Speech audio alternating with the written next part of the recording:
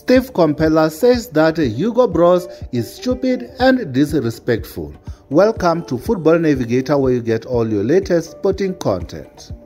Steve Komphela has stated that Hugo Broos is stupid and disrespectful to South Africans after the Belgian coach said that South Africa does not have good quality players and the PSL is not good enough.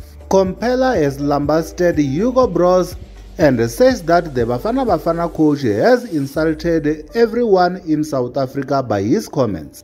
The Sundowns coach went on to say that the Bafana Bafana coach is being a condescending leader who is arrogant and thinks he knows better than everyone in South Africa.